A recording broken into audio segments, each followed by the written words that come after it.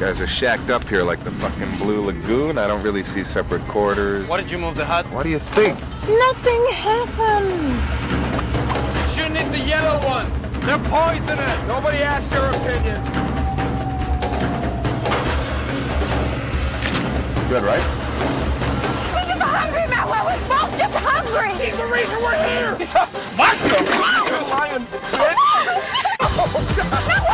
You like shit. Promise you won't say a word.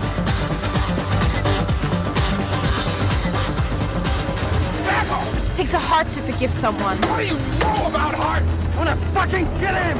Fuck away from my wife!